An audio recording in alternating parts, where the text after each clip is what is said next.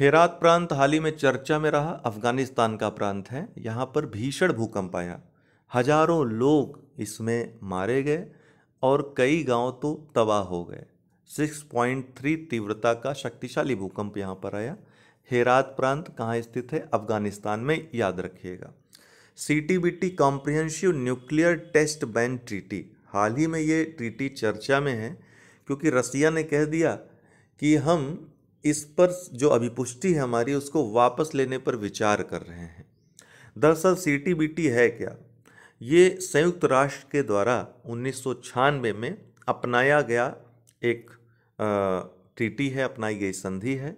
हालाँकि अभी तक यह लागू नहीं हो पाई है, क्योंकि कई देशों ने या तो इस पर हस्ताक्षर नहीं किए हैं, या फिर हस्ताक्षर कर दिया है, लेकिन अभी पुष्टि नहीं की है। भारत न तो इसका हस्ताक्षर करता है और अब पुष्टि का तो सवाल ही नहीं उठता अगर हस्ताक्षर नहीं हुआ है तो। भारत कहता है कि देखिए भैया, हमको कोई भी इस तरह की संधि स्वीकार नहीं है जो विभेदकारी हो। विकसित राष्ट्रों की एक मानसिकता है कि जितनी शक्तियाँ रहें, परमाणु शक्ति संपन्न वही रहें। कोई और राष्ट्र, कमज़ोर राष्ट्र परमाणु शक्ति संपन्न हो गया तो उनकी बात नहीं मानेगा। वो संप्रभु बना रहेगा, उसको हम जब चाहें नौ उपनिवेशवाद के अंधेरे में नहीं ढकेल सकते हैं। तो ऐसी विचारधारा होने की वजह से इस तरह की जो ट्रीटियाँ बनती हैं, इस तरह की जो संधियाँ बनती हैं, कहीं ना कहीं या तो उनके अनुसार नहीं होगी, जैसे अमेरिका के अनुसार नहीं होगी तो उस पर न हस्ताक्षर करेगा, न तो उसकी बात मानेगा। जैसे अनक्लास बन गया है, लेकिन चीन अपने अनुसार चलता है। नाइन डैश लाइन उसने खींच दी है और वहाँ से वो नापता है पूरे समुद्र को और पूरे दक्षिण चीन सागर को अपना बोलता है छोटे छोटे टापू बना करके। तो अंतर्राष्ट्रीय संधियों का या तो उल्लंघन करते हैं या फिर उसकी गलत व्याख्या करते हैं। अपने अनुसार, क्यों? क्योंकि वो परमाणु शक्ति संपन्न है या शक्ति संपन्न है। वो नहीं चाहते कोई और, जैसे आप हैं, आप शक्ति संपन्न, आप नहीं चाहोगे कि आपका पड़ोसी जो है, वो शक्तिशाली हो आपसे, या आपकी बराबरी तक पहुँचे। आप चाहोगे हमारे, हमेशा हमारी बात माने, चट करता करता रहे। तो इसी तरीके से मानसिकता ऐसे देशों की होती है। तो इस तरह की जो अंतर्राष्ट्रीय संधियाँ होती हैं, उनके अनुसार हुई तो ठीक है। ठीक है, या उस पर पूरी तरीके से वो प्रभुत्व स्थापित करके अपने अनुसार ढाल लेती हैं उसको। अगर नहीं हो पाता है तो फिर या तो उससे हट जाती हैं, अपना पैर वापस खींच लेती हैं, या फिर उसको पूरी तरीके से उसका उल्लंघन कर देती है। जैसे मानवाधिकारों की बात करें तो उइगर मुसलमानों पर अत्याचार करता है, चाइना खुले हम अपने नागरिकों पर अत्याचार करता है। लोकतंत्र का कोई भी नामो निशान नहीं चाइना में, लेकिन वो, जो सबसे बड़ी लोकतांत्रिक संस्था है पूरे विश्व की, संयुक्त राष्ट्र, उसका स्थायी सदस्य है। संयुक्त राष्ट्र सुरक्षा परिषद का स्थायी सदस्य है वो। तो कॉन्ट्राडिक्ट है ये सब चीज़ें। फ़िलहाल तो जिसके पास शक्ति, जिसकी लाठी उसकी भैंस, जिसके पास शक्ति है, उसके पास सब कुछ है। कुल मिलाकर ये बात है। तो भारत कहता है कि अगर लागू करना है ऐसी टीटियों को तो पूरी तरीके से पारदर्शी होनी चाहिए और पक्षपातपूर्ण न हो। समाप्त करना है तो जड़ से समाप्त करो, न तो टेक्नोलॉजी ट्रांसफ़र करो, न तो परमाणु शक्ति का शांतिपूर्ण उपयोग करो, न तो तुम किसी तरीके से सैन्य उपयोग करो। हालाँकि भारत परमाणु पावर का, परमाणु शक्ति के शांतिपूर्ण उपयोग का पक्षधर रहा है। लेकिन वो कहता है कि अगर कोई गुंजाइश है कि आतंकवादी इस तरह की पद्धतियों के बारे में सीख करके इसका गलत इस्तेमाल कर सकते हैं तो अगर समाप्त करना है तो जड़ से समाप्त करो। जितना जखीरा है, हथियारों का, उसको समाप्त करो। फिर बात करो टीटी की। तो ये है। उन्नीस सौ छियानवे में अपनाया गया था और अब पाकिस्तान भी इस पर हस्ताक्षर करता नहीं। पाकिस्तान कहता है कि नहीं, बड़ा भाई है हमारा, मना कर रहा है तो हम कैसे कर सकते हैं?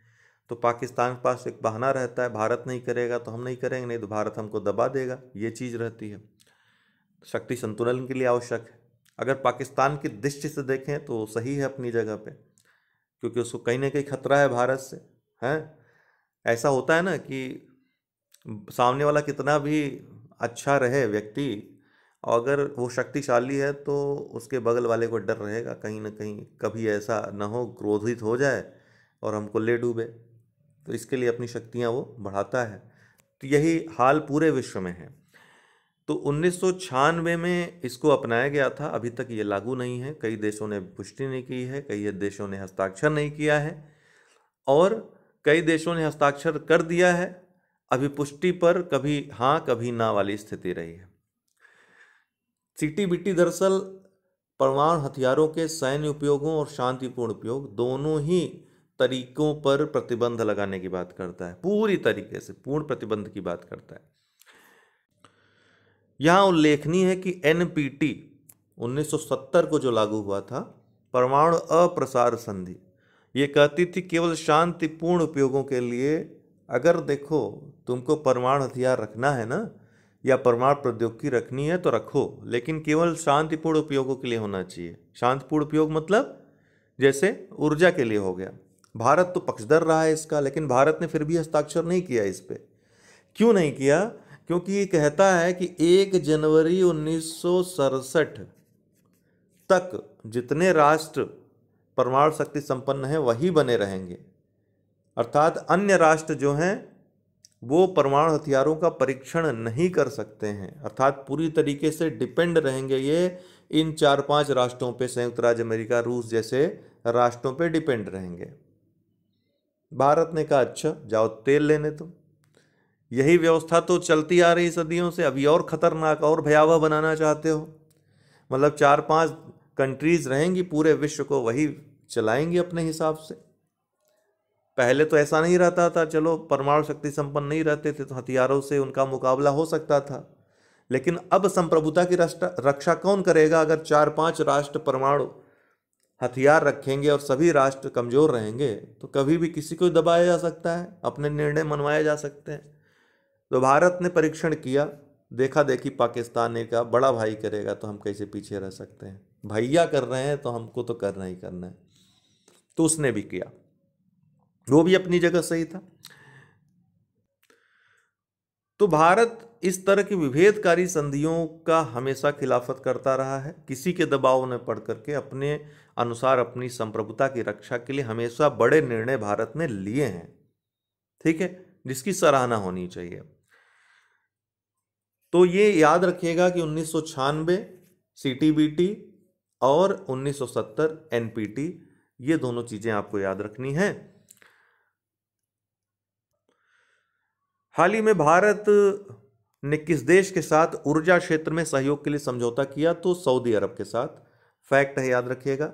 जीएसटी काउंसिल की बावनवीं बैठक कहाँ पर आयोजित हुई? नई दिल्ली में आयोजित हुई। आपको बता दें, जीएसटी परिषद, ये संवैधानिक निकाय है। संविधान के अनुच्छेद दो ए में इसका उल्लेख है, प्रावधान किया गया है। एक सौ एकवें संविधान संशोधन अधिनियम 2016 के द्वारा इसको संविधान में जगह दी गई। इसकी सबसे अच्छी विशेषता है कि सहकारी संघवाद को ये पूरी तरीके से स्थापित करता है। क्यों? इसकी अध्यक्षता वित्त मंत्री करती हैं और इसके जो प्रतिनिधि होते हैं, वो राज्यों के प्रतिनिधि होते हैं, राज्य के मुख्यमंत्री हो गए। ठीक है, विभिन्न केंद्र शासित प्रदेशों के जो प्रशासक होते हैं, वो सभी इसके सदस्य होते हैं। तो इसलिए जो निर्णय होता है इसमें, उसमें राज्यों को ज़्यादा वेटेज दिया गया है। तो जीएसटी परिषद की इसलिए काफ़ी इस दृष्टि से तारीफ़ होती है। गुड़ पर जीएसटी रेट 28 प्रतिशत से घटा करके 5 प्रतिशत कर दिया गया ये एक फैक्ट है। बावनवी बैठक में निर्णय लिया गया है। याद रखिएगा इसको। क्लाउडिया गोल्डिन न्यूयॉर्क में इनका जन्म हुआ था। हाल ही में अर्थशास्त्र का नोबेल पुरस्कार 2023 इनको प्रदान किया गया है। अर्थव्यवस्था में महिलाओं की भूमिका पर शोध इन्होंने किया है, इसके लिए जानी जाती हैं। तो ये प्रश्न पूछेगा स्पेसिफिक प्रश्न हो सकता है, याद रखिएगा इसको यूपीएससी वाले विशेषकर। भारतीय भाषा उत्सव, शिक्षा मंत्रालय, भारत सरकार द्वारा 28 सितंबर 2023 से ध्यान रखिए 28 सितंबर 2023 इसलिए महत्वपूर्ण है क्योंकि इस महोत्सव की, इस उत्सव की शुरुआत लखनऊ उत्तर प्रदेश से हुई थी। तो 28 सितंबर 2023 से 11 दिसंबर 2023 तक 75 दिनों का ये भारतीय भाषा उत्सव मनाया जा रहा है। इसका विशेष जो महत्व है, वो ये है कि पूरे देश को जो एक भाषा संबंधी भाषावाद है, जो विभिन्न राज्यों को अलग करता है। तमिलियंस जो हैं, वो हिंदी भाषी राज्यों से कहीं ना कहीं हिंदी भाषा से नफरत करते हैं।